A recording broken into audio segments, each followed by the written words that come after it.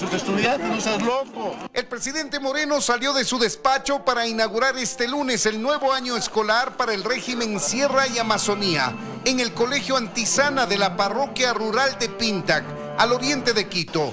Lo hizo recordando toda la inversión que ha realizado su gobierno en educación. Es que en 27 meses de gobierno hemos destinado, oígame bien esta cifra, hemos destinado ya 10.250 millones de dólares para educación básica y bachillerato.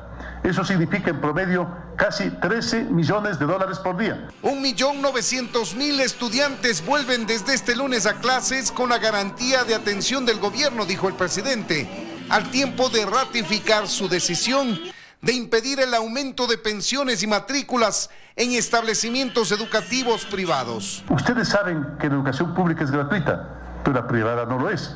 Por eso prohibí elevar las pensiones y matrículas en todos los planteles privados fiscomisionales urbanos o rurales. Según trascendió, sería necesaria la emisión de algún instrumento legal, decreto o acuerdo ministerial para que las autoridades de los colegios privados cumplan obligatoriamente esa disposición presidencial.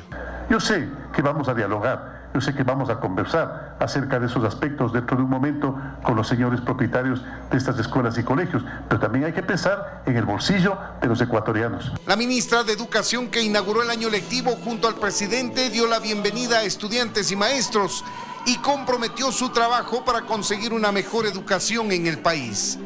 En Quito, Freddy Paredes, 24 horas.